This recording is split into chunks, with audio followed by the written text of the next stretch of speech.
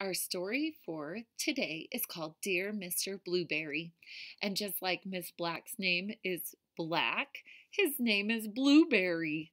And then this is the girl in the story, but they've made her be like the stamp. Remember when Miss Black has sent you stuff and there's a little uh, stamp in the corner? That's so you the post office knows you paid the money for them to take it to the place you want it to go. And then the post office stamps it when they get it. Um, with something that looks like this. So if you still have my postcard or if you get something in the mail, you can look for these things on the letters. All right. Dear Mr. Blueberry, I love whales very much, and I think I saw one in my pond today. Please send me some information on whales, as I think he might be hurt. Love, Emily. Do you think that a whale could really live in her pond?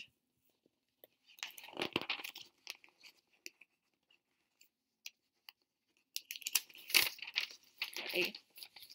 Sticky note was stuck. Dear Emily, here are some details about whales. I don't think you'll find it was a whale you saw because whales don't live in ponds, but in salt water. Yours sincerely, your teacher, Mr. Blueberry. Did you catch who Mr. Blueberry is? It says, Yours sincerely, your teacher, Mr. Blueberry. So we know Mr. Blueberry is um, her teacher. What reason did he give that it wasn't a whale she saw? He said they live in salt water. Where is salt water usually found? In the ocean. All right. Dear Mr. Blueberry, I am now putting salt into the pond every day before breakfast, and last night I saw my whale smile. I think he is feeling better. Do you think he might be lost? Love, Emily. You think that was a good idea to put some salt in her pond? Dear Emily, please don't put any more salt in the pond. I'm sure your parents won't be pleased. I'm afraid there can't be a whale in your pond because whales don't get lost. They always know where they are in the oceans. Yours sincerely, Mr. Blueberry. Dear Mr. Blueberry, Tonight I am very happy because I saw my whale jump up and spurt lots of water. He looked blue. Does this mean he might be a blue whale? Love, Emily. P.S. What can I feed him with? So, when we would write letters as kids, if you forgot to write something in your letter, you would write afterwards P.S. and add it. So, she's adding that after she finished her letter. Dear Emily, blue whales are blue, and they eat tiny shrimp like creatures that live in the sea. However, I must tell you that a blue whale is much too big to live in your pond. Yours sincerely, Mr. Blueberry. P.S. Perhaps it is a blue goldfish? What do you think Emily likes learning about? Can you see from the book she's reading? There's fish on all those pictures. Dear Mr. Blueberry, Last night I read your letter to my whale. Afterwards, he let me stroke his head. It was very exciting. I secretly took him some crunched up cornflakes and breadcrumbs. This morning I looked in the pond and they were all gone. I think I shall call him Arthur. What do you think? Love, Emily.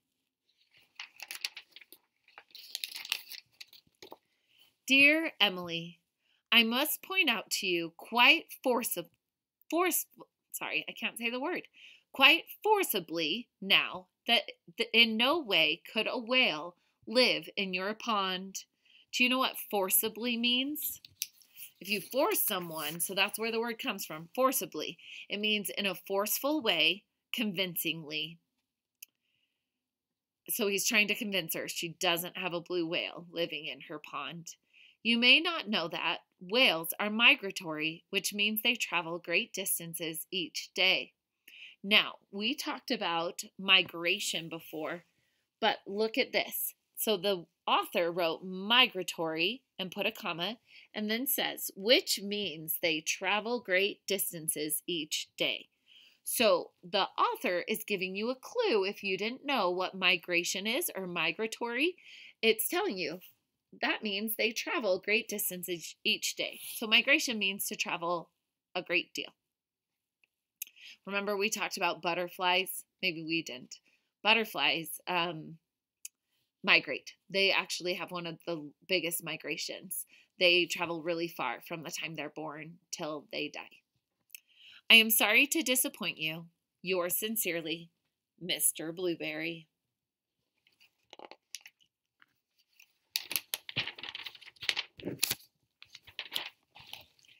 Dear Mr. Blueberry, tonight I'm a little sad.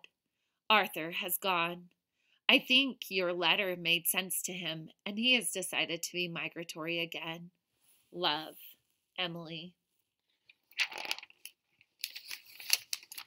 Dear Emily, please don't be too sad. It really was impossible for a whale to live in your pond. Perhaps when you are older, you would like to sail the ocean studying and protecting whales. Yours sincerely, Mr. Blueberry. By looking at Emily's room, what are some things you think Emily might like?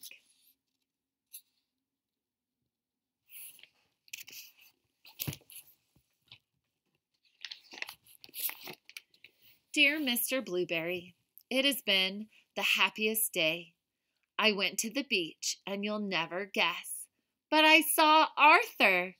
I called to him, and he smiled. I knew it was Arthur because he let me stroke his head. I gave him some of my sandwich.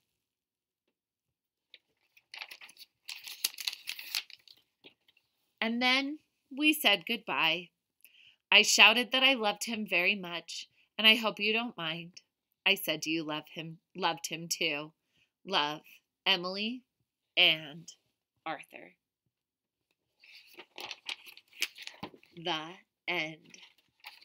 Do you think she really had a whale living in her pond? It doesn't really tell us. So you get to just decide. Do you think it was like a blue goldfish, like Mr. Blueberry thought? a blue goldfish, or do you think it was a blue whale?